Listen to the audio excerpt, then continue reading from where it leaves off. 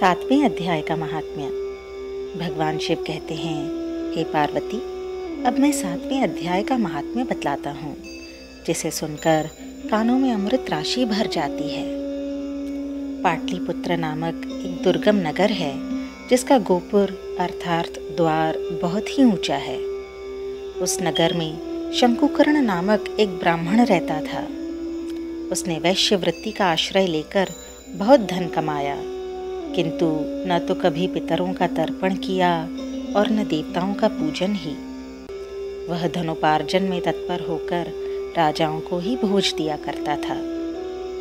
एक समय की बात है, उस ब्राह्मण ने अपना चौथा विवाह करने के लिए पुत्रों और बंधुओं के साथ यात्रा की।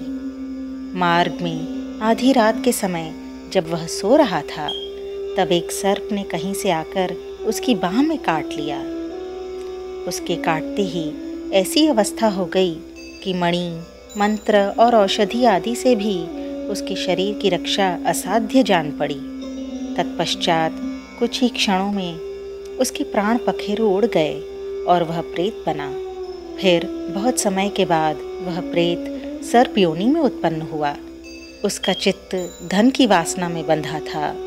उसने पूर्व वृत्तांत को स्मरण करके सोचा मैंने घर के बाहर करोड़ों की संख्या में अपना जो धन गाड़ रखा है, उससे इन पुत्रों को वंचित करके स्वयं ही उसकी रक्षा करूँगा।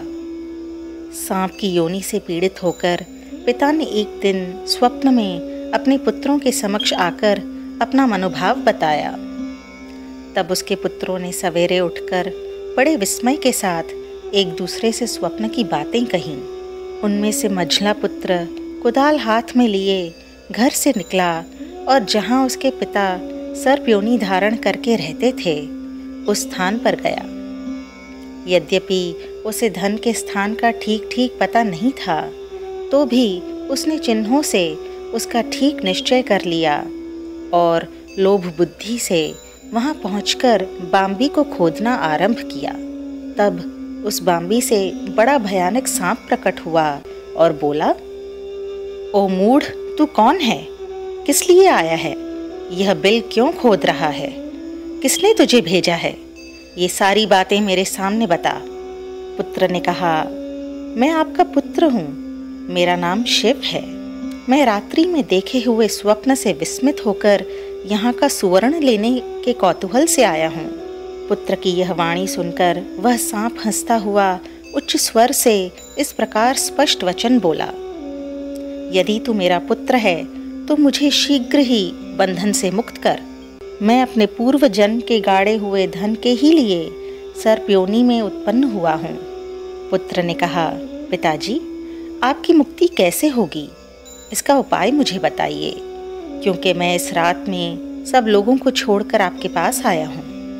पिता ने कहा, बेटा, गीता के अमृतमय सप्तम अध्याय को छोड़कर मुझे मुक्त करने में तीर्थ, दान तप और यज्ञ भी सर्वथा समर्थ नहीं है।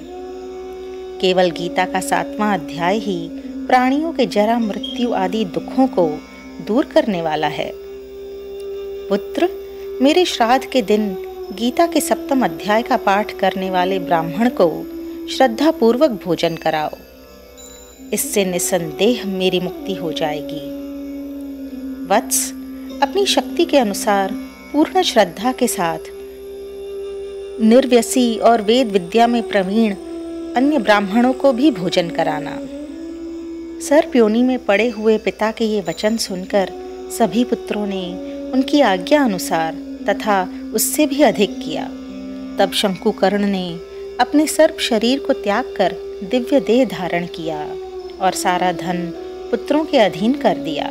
पिता ने करोड़ों की संख्या में जो धन उनमें बांट दिया था उससे वे पुत्र बहुत प्रसन्न हुए।